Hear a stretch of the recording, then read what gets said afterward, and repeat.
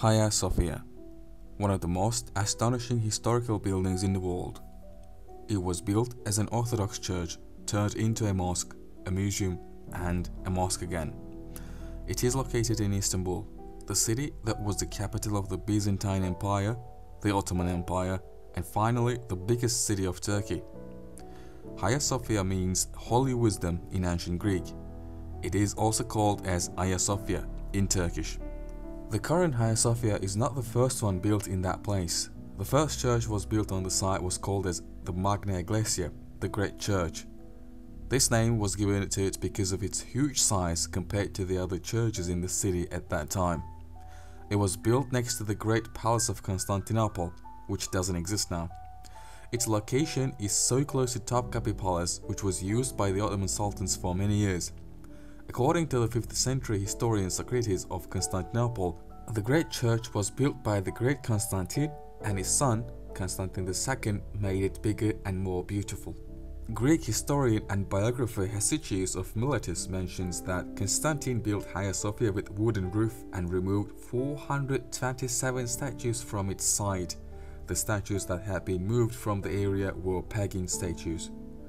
The name of the great church implies that it was bigger than other Constantinopolitan churches. Before it was completed, Hagia Irene, another church in that site, by the way, Hagia Irene means Holy Peace, served as cathedral. The great church had a timber roof, curtains, columns, and an entrance that faced west. It had a shape like a Roman circus and probably had a narthex. Towards the end of the 4th century, the Patriarch of Constantinople Ioannis Chrysos and the Empress Aelia Eudoxia had a conflict. The church was burnt down during the riots following this conflict. Second church in the area was ordered by Theodosius II. When it was built, it was called as Magna Ecclesia, the Great Church again. Former cathedral Hagia Irene was called as Ecclesia Antiqua, the Old Church. The basilica was built by architect Rufinus. The church's main entrance may have had gilded doors, faced west and there was another entrance to the east. There was a central pulpit and probably an upper gallery. The exterior was decorated with elaborate carvings of the rich Theodosian era designs. It had colorful floor mosaics and external decorative sculpture. It can be understood from the surviving stone fragments that there was vaulting at the western end. It had a monumental propylaeum hall with a portico. The propylaeum opened onto an atrium which lay in front of the Basilica Church. Following the propylaeum was a steep monumental staircase, following the contours of the ground. This arrangement probably looked like old St. Peter's Basilica in Rome. Close to the stairs, there was a cistern, probably to supply a fountain in the atrium or for the worshippers to wash with before entering. Its fate was similar to the first Hagia Sophia, it was burnt to the ground during famous Nika revolt in 532. On 23 February 532, just a couple of weeks after the destruction of the second basilica, the Emperor Justinian I appointed Anthemius of Tralles and Isidore of Miletus to design the building. Originally, the exterior of the church was covered with marble veneer. White marble cladding Gilding of some parts would have made Hagia Sophia a lot more different than other buildings and increased its visibility from distance. The interior surfaces were sheeted with polychrome marbles, green and white with purple porphyry and gold mosaics. Columns and other marble elements were imported from throughout the Mediterranean. It is faster to bring readily made columns from other places than building new ones. So they probably thought if we already have these columns and can build the church faster with them, why bother to make new ones? And because these columns were originally used for some other buildings, they vary in size. It was claimed that more than 10,000 people worked to build the church. The construction ended within just five years. When the emperor saw the finished building, he said, Solomon, I have surpassed you. Hagia Sophia was the seat of the Patriarchate of Constantinople and a principal setting for Byzantine imperial ceremonies such as coronations. Earthquakes in August 553 and December 557 caused cracks in the main dome and eastern semidome.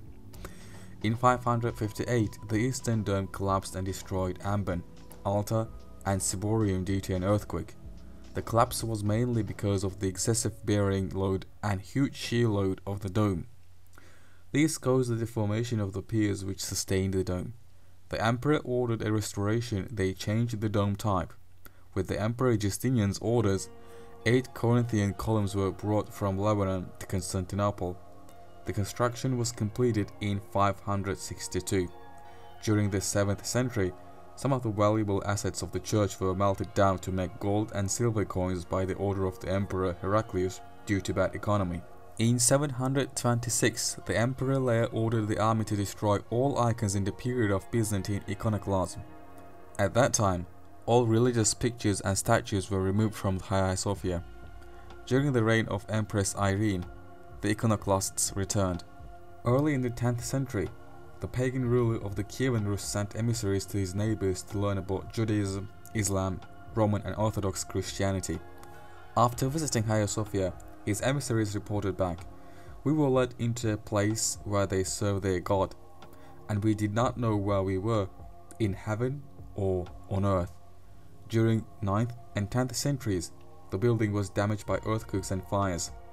After the reconstruction of the building in 10th century, which lasted six years, the church's decorations were renovated.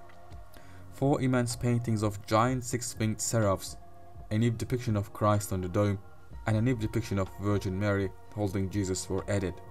Hagia Sophia faced a massive theft during the Fourth Crusades in 1204.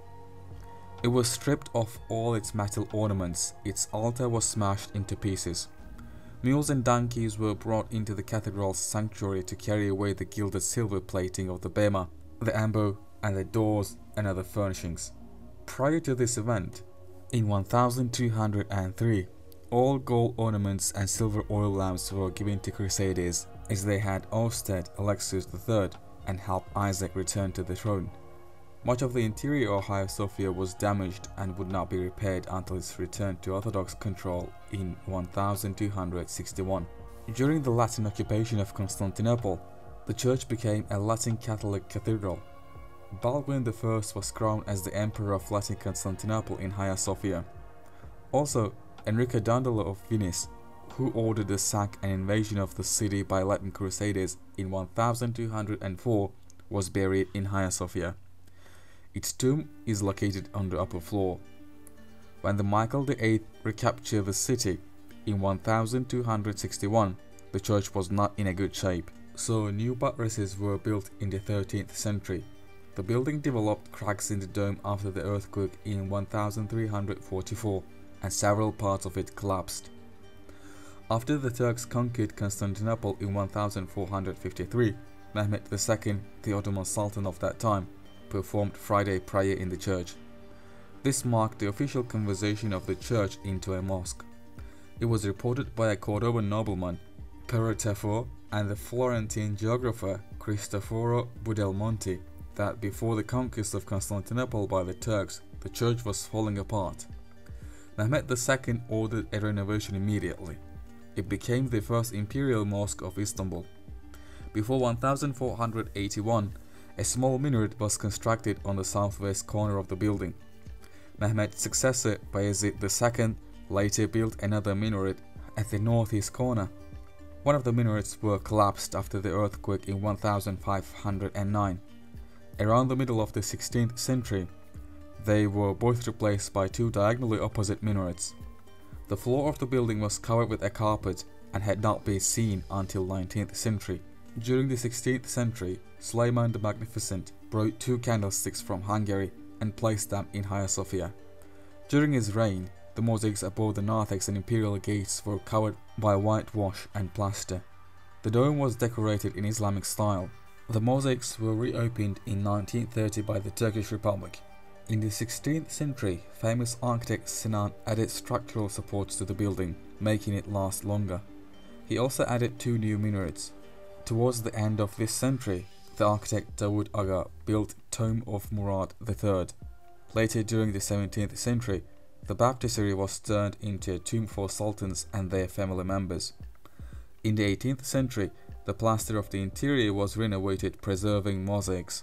Sultan Mahmud I ordered the construction of a madrasa, a school a library, a fountain, and an imaret, a sub kitchen for distribution to the poor.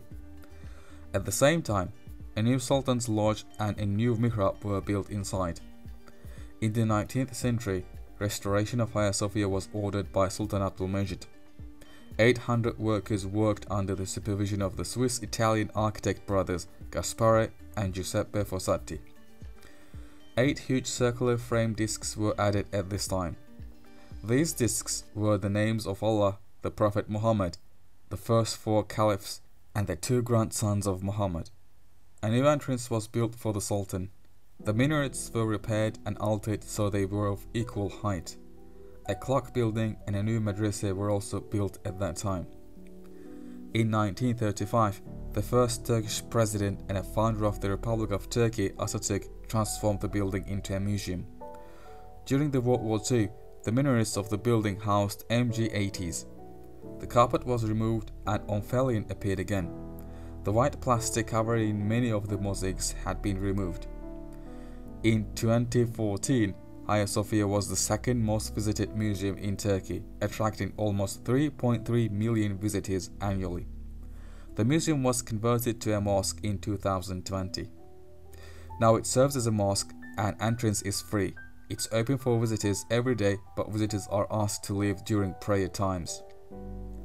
As we covered the history of this amazing place, let's take a look at the architecture and mosaics. The building has brick and mortar joints that are 1.5 times thicker than bricks. The vast interior is covered by a central dome. The central dome has not a circular shape, but an elliptical shape. The highest point of the dome is at 55.6 meters from floor level. There are two half domes on its west and east sides. We also see this type of structure in Ottoman buildings later on. The floor of the building dates back to the 6th century. It is mostly made of marble. Most of the marble used to make this floor and also other monuments in Constantinople was obtained from the Marmara region of modern-day Turkey. Today, the floor is covered by a carpet, but one part of the floor is left open. The Omphalion. This is the place where Byzantine emperors were crowned. The imperial gate or the imperial door was the main entrance and it was used by the emperors of the Byzantine Empire. The gate is between Exo and Esonarthex. At the top of the gate, there is a mosaic which was probably added during the 10th century. The emperor with halo in this mosaic is believed to represent Emperor Leo VI or his son Constantine VII. The emperor is bowing down before Christ Pantocrator, seated on a jeweled throne giving his blessings and holding his left hand an open book.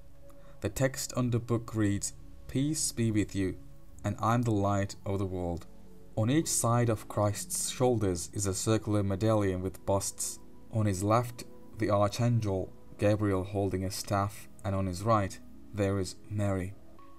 There is a long ramp there in the outer narthex that leads to the upper gallery. The ramp is narrow and the floor of it is covered by rocks. Wearing high heels is not a good idea here if you ever plan to do it, but unfortunately, you can't even use this ramp with your comfortable shoes as the upper floor is not open for tourists. The upper floor has a horseshoe shape and it is interrupted by the apse. The upper floor along with the lower one hosts more amazing mosaics, impressive elements and decorations. Among these decorations, we may easily notice the four giant seraphs on each side of pendentives. During the Ottoman era, their faces were covered with golden stars. Now we can see at least one of their faces open. The loggia of the Empress is located in the center of the gallery. It is on the second floor. A green stone disc marks the spot where the throne of the Empress stood. The columns are made of green Thessalian stone. On the second floor, we also see the marble door. As you may guess, the door is made of marble. Each side of the marble door is symbolic. One represents heaven while the other one represents hell. Its panels are covered in fruits and fish motifs.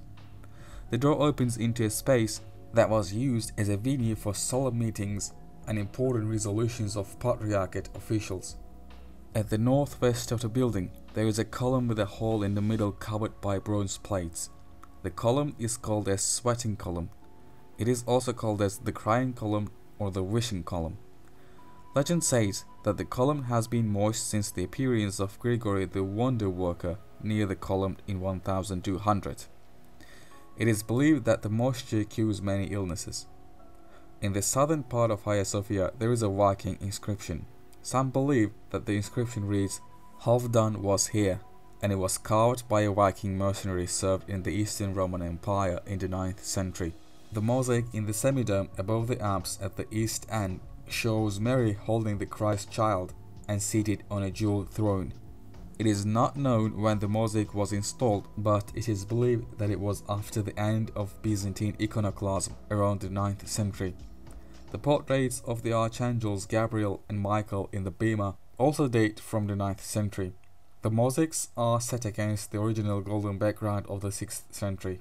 The Emperor Alexander mosaic is located on the second floor in a dark corner of the ceiling. It depicts the Emperor Alexander in full regalia, holding a scroll in his right hand and a globus cruciger in his left. The Emperor Alexander lived at the end of the 9th century. It is believed that he was one of the worst emperors of the Byzantine Empire. He died of a stroke during a polo game. Empress Zoe mosaic is on the eastern wall of the southeastern gallery. It dates back to the 11th century. Empress Zoe was the daughter of Constantine VIII who wanted her to marry Argyrus before he died. When she married to Argyrus, Zoe was 50 and still a virgin. After their marriage, Zoe fell in love with a young stable boy, Michael. They killed Argyrus by drowning him in the bath, and Michael became the emperor. When Michael IV died, his nephew Michael V became the emperor and imprisoned Zoe. This led to a riot, and Constantine IX became the next emperor. With each husband Zoe had, the mosaic changed. Actually, the faces of Jesus and Zoe are also not original. Michael V destroyed the face of Zoe, he might be the one who destroyed Jesus' face too. The face he belongs to Zoe's third husband, Constantine XI. Zoe holds an inscription showing the donations made to the church. Komnenos mosaic is situated at the south end point. It dates back to the 13th century this is similar to Zoe panel which also depicts the imperial offering to Mary and Christ. Empress Irene with her blonde hair holds a scroll of parchment of donation made to the great church. She is dressed in a royal red garment with embellished jewelry and gold.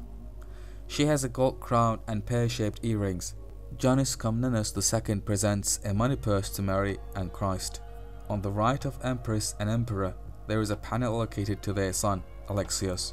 He is about 17 years old in this depiction. He died of tuberculosis at an early age. By looking at their different styles, we can say that this panel dates back to a later time. Deesis mosaic dates back to the 13th century. It is located in the upper south gallery. In the mosaic, Virgin, St. John the Baptist, and the Christ are begging for the salutation of men. We tried to cover some of the most notable figures in this amazing building. There are much more to be discovered. I recommend you to visit and see with your own eyes. Thanks for watching.